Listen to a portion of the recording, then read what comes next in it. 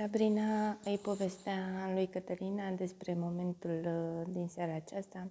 De fapt, Cătălina a întrebat-o cum se simte și ea spunea că nu-i vine să creadă că parcă plutește și spunea că nu credea că o să aibă un așa impact uh, momentul acesta. Îi spunea Cătălina, băi, da, a fost emoționant rău, toți ne-am emoționat și Sabrina spunea, da, chiar a fost și eu m-am emoționat foarte tare și nu mă așteptam uh, să se termine așa.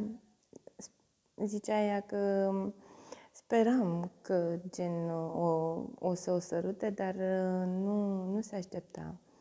Și spunea că și lui uh, Dima i-a plăcut, că i-a spus că i-a plăcut foarte mult momentul, că este foarte fericită și că nu credea că va trăi o astfel de poveste în casa mireasă. Mă bucur foarte tare pentru ei.